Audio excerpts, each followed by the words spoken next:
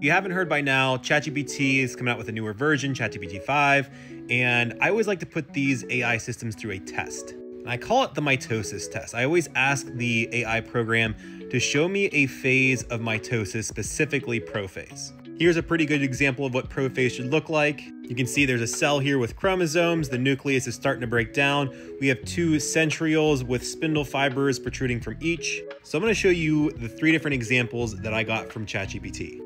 The first image here is pretty good. Now you can see I said make an image of prophase. I didn't specify mitosis, but it's good, not great.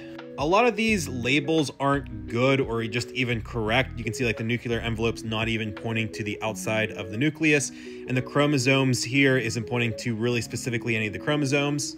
The centriole here with the spindle fibers, there's only one of them, which I'll forgive, but the chromosome here is just not correct. I mean, they look somewhat good, but I still don't even like the X here, how you can only see like one chromatid over the other chromatid.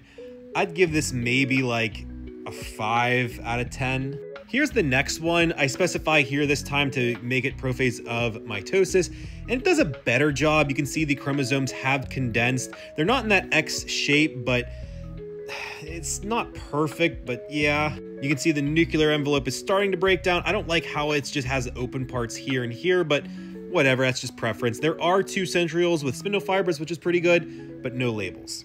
I'd give this one maybe a 6 out of 10. And lastly, I think this was the worst one. Um, I specify even more. I said make an image of prophase of mitosis for a biology class.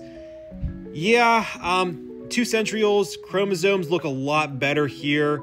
Um, there's no nucleus. I'm guessing what that's what these little black lines are. I would say they look more like spindle fibers, but the nucleus isn't here, which could be late prophase.